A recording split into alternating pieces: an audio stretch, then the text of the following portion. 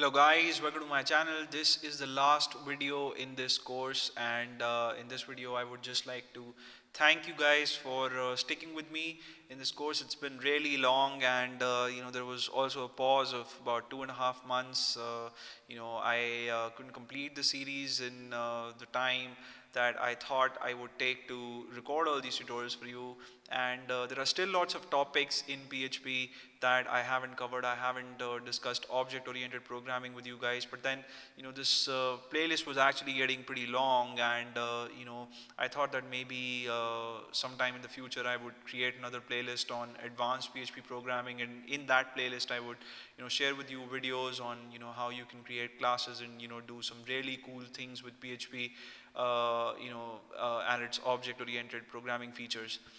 Uh, but anyway, it's been a long journey and uh, I have discussed uh, lots of things with you, you know, strings, numbers, data types in PHP and then, you know, so many built-in functions in PHP and uh, then SQL, you know, we've learned to do almost everything using PHP in SQL, you know, creating tables, adding stuff to tables, deleting data, updating data, we also built a sign up page in the last tutorial and uh, I'm sure you guys uh, you know enjoyed that. Uh, but anyway if you have any queries regarding the content that I've shared with you in this playlist and you know you can obviously uh, write to me. You know my email address is uh, madhurbhatia89 at gmail.com you know you could just uh, message me on YouTube or uh, text me or you know leave your comments in the videos and I would reply to them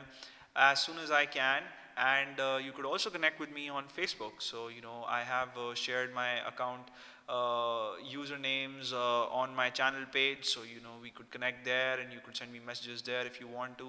And uh, I hope you guys uh, learned something new and something interesting from this course and you know php is a fantastic language and uh, you know i'm sure those of you who've uh, you know been wanting to learn this language must have benefited uh, from this course a uh, little bit if not too much. And uh, I'm going to see you in uh, the future with lots of other interesting courses. I'm already planning a course on Excel pivot tables and you know also on Joomla and then other programming languages too like C sharp and you know Java maybe. So you know if you have